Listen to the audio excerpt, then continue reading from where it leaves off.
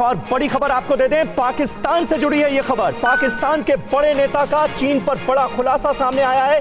PLA ने खूंखार अपराधी एलएसी पर तैनात किए हैं। सिंध के बड़े नेता शफी बुरफत के ट्वीट से यह खुलासा हुआ है। वो ये कह रहे हैं कि सजा याफ्ता कैदियों को भी एलएसी पर तैनात किया गया है। खूंखार अपराधियों को तैनात किया जा रहा है। चीन ने कैदियों को पीएलए की ड्रेस पहनाई है ताकि वो आर्मी के जवान नज़र आए।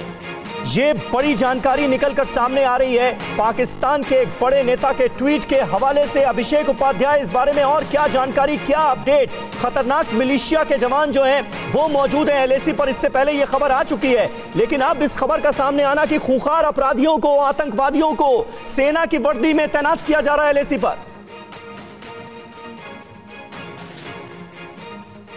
देखिए, ये बात एकदम समझ चुका है चीन भी और पाकिस्तान भी कि वो लड़ाई की स्थिति में नहीं रह गए हैं। जिस तरह से जवाब मिल रहा है तो अब यही तरीके हैं आतंकवादियों को अंदर भेजने की कोशिश करना। जो कैदी हैं, उनको वर्दियाँ पहना करके अंदर भेजने की कोशिश करना और ये पूरी की पूरी डी करने की डिस्टर्ब करने की तकनीक है और और फ्रंट खोलने की तकनीक है। चूँकि एल पर जहाँ पर हम हैं, यहाँ हम बहुत भारी पड़ रहे हैं। जो रेफ्रिजरेंट गुरमीत सिंह अभी बता भी रहे थे कि स्ट्रेटेजिक हाइट्स हमारे कब्जे में है तो दूसरा फ्रंट फ्रंट खोलो और दूसरा फ्रंट कौन खोलेगा? अगर वो पकड़े गए तो वहाँ के वो पाकिस्तान के जवान नहीं है, अधिकारी नहीं है, वो कई सजा याफ्ता कैदी हैं, उनका उनका जो पूरा, पूरी ज़िम्मेदारी है, वो स्टेट से अलग कर दी जाएगी। तो एक बड़े गेम प्लान का हिस्सा है ये सब।